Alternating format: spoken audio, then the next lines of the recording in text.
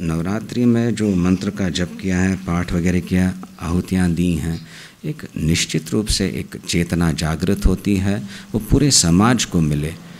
और उसमें हम कर चुके हैं, पर उसको शाश्वत बनाना हो तो इस प्रकार का विभूति योग का हमने प्रयास करना पड़ेगा। नवरात्रि के उपरांत प्रतिदिन तो यहाँ पे आप आओगे नहीं, हवन वगैरह होंगे नहीं, वो ध्वनि सुनाई नहीं देगी तो वहाँ पे फिर से विषय चिंतन ही शुरू हो जाएगा। तो उसमें डूबना नहीं है।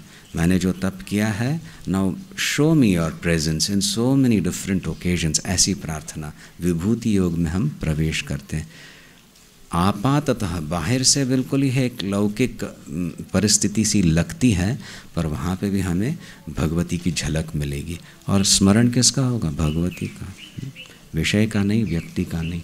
ऐसे हमें एक बल चाहिए, ऐसी प्रार्थना मैं कर रहा हूँ। आप सबों के की ओर से भगवती के चरणों में।